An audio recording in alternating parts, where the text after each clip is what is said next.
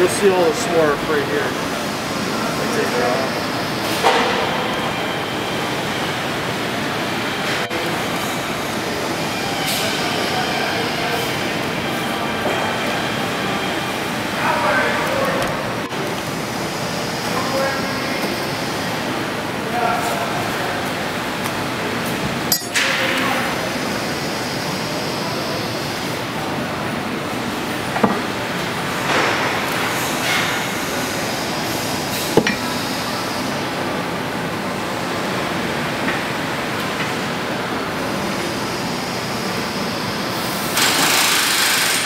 Careful, don't cut yourself.